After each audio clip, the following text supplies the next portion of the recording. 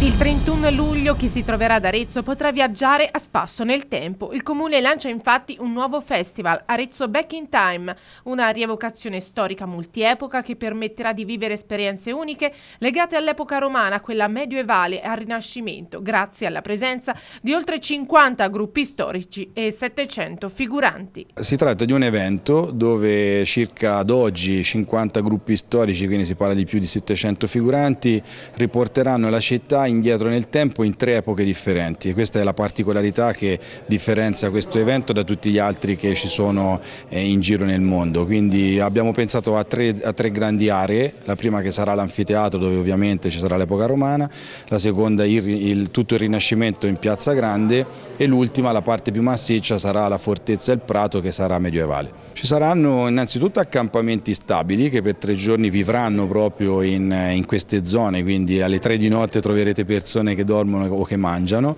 in più ci saranno eventi di ogni genere, quindi battaglie, ci saranno cose per bambini, ci saranno rievocazioni di mercati, di, di antichi mestieri, quindi si ritorna proprio indietro nel tempo con eh, la città allestita eh, soprattutto con grande cura da parte dei gruppi storici professionisti. Il, il, il festival sarà tre giorni, però abbiamo abbiamo pensato che i tre giorni precedenti stiamo già mm, lavorando per degli eventi collaterali sempre su sfondo storico, uno di questi dovrebbe essere